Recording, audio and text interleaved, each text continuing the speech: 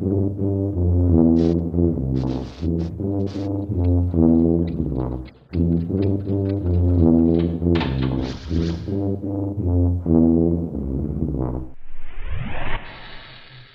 back to the only talk show produced by robots for robots. I'm your host, IR2. Some of our systems have started failing since our space station is running dangerously low on power. If we can harness the energy produced by a supernova, it should keep our station powered for weeks! Let's go!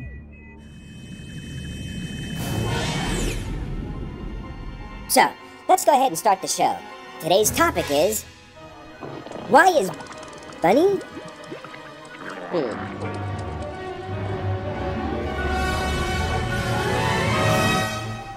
What? Where's the supernova?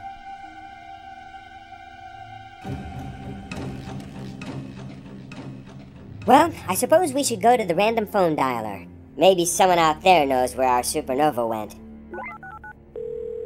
Hello. Hi, please state your model number and designation. Uh, this is Linda Hamilton. I'm an actress. Who is this? This is Robot IR2, host of the. Robot. oh, I hope you're not one of those evil robots trying to take over the world. Of course not. Good to hear it. We're trying to take over the universe.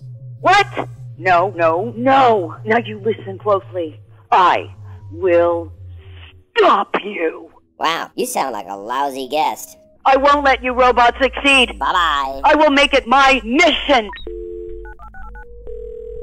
Hello? Hi, this is Robot IR2. Please state your model number and designation. Dean Stockwell, super genius. Hello, Dean Stockwell, super genius. Do you know why is Bunny? You have a patented topic generator that's low on power, don't you? Yes. All of our systems are failing. We tried to do the Kessel run in under 12 parsecs. You realize that a parsec is a unit of distance, don't you? Well, we do now. But even worse, we can't find any power to refuel. We detected a supernova earlier, but when we warped over there, we didn't find anything but dust. Hmm. How far away was it? About 200 light years. Uh, I think I know what happened. Look, this is an image of the Crab Nebula supernova remnant as photographed by the Spitzer Space Telescope a few years ago. So we could refuel there? And not so much. You see, this supernova is about 6,500 light years away from Earth. That means that at the time it was photographed, scientists saw it as it looked 6,500 years previously. In other words, when we look at objects in outer space, we're actually looking back in time at them. What? That's crazy human talk. Are you a human? I am, but it's the truth. A light year is the distance that light travels in one year. Since the supernova you saw was 200 light years away, then it actually happened 200 years ago. It just took that long for the light to reach you so you could see it. So, we really were looking back in time. That's like those time travel stories. But how do you know so much about time travel, Dean Stockwell? I've picked up a few things on TV. Ah! We've got an incoming phone call. I just realized we were disconnected. What was I saying? Something about your mission. Oh, right. So, I'm going to stop you. That was pretty much it. I see. Linda, is that you? Dean? What are you doing on the phone? Just doing a talk show with these nice robots. But you can't help them. They're trying to take over the universe. Not all robots are evil, Linda. Now, wait a minute. Dean, weren't you an evil robot on that TV show? Battle Gang Starbuckers, something like that? Maybe you should hang up on her IR2. Good thinking, Dean Stockwell. Wait! So, as we were saying, if we wanted to harness the stupendous energy of our supernova, we'd have to go back in time 200 years? That's correct. Yahoo! And impossible. Dagnabbit, then what's the point of looking back in time? Oh, looking back in time gives us tremendous science opportunities. Let's say you look at galaxies that are several billion light years away. You're actually seeing how they looked very early in the life of the universe. After that, you can look at relatively nearby galaxies, and you can start to get an idea of how galaxies have evolved over time.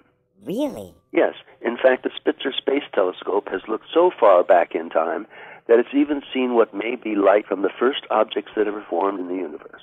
Wow, that's probably really useful to somebody who isn't us. Indeed. The point is, looking back in time can help astronomers understand the life cycle of objects in the universe, including supernovae. Ah! It's me again. Look here, Linda Hamilton. We're big fans and everything, but our phone ringer drains a lot of energy that we can't spare. Oh, really? Well, please accept my apologies.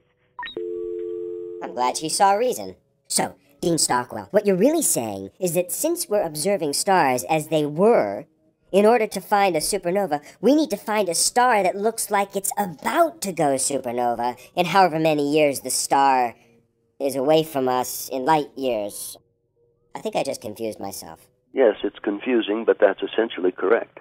Producer bot, find us a star that looks like it's going to supernova within the light year distance. Oh, what I said before.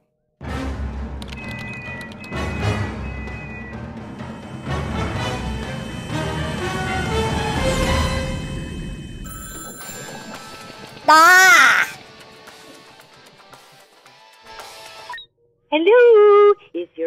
Refrigerator running? Linda Hamilton, didn't I tell you that you're gonna drain all our power if you keep calling? Oh, right, my bad. Producer bot, reset our course for the impending supernova. Tuba bot, play some dramatic station refueling music, and somebody block Linda Hamilton's phone number from calling us.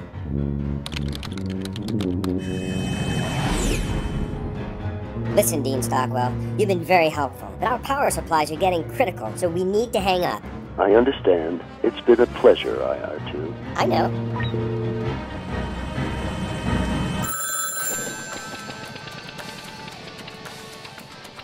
Hello, may I speak to the person responsible for long distance decisions in your household? Wait, that's Linda Hamilton. She switched phones. Redirect all power to the shields.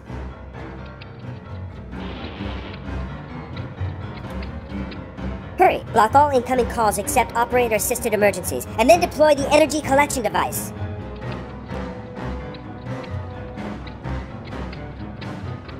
Ha ha! And that concludes another successful show. Until next time, remember, robots will rule the universe. Take that, Linda Hamilton. This is the operator with an emergency call from Linda Hamilton.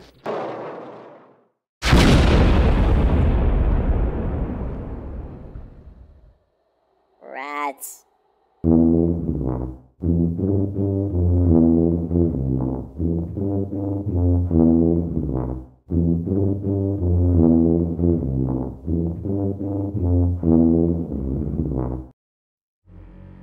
The force of the supernova slingshotted a single Tubabot around a nearby star, hurling him back in time.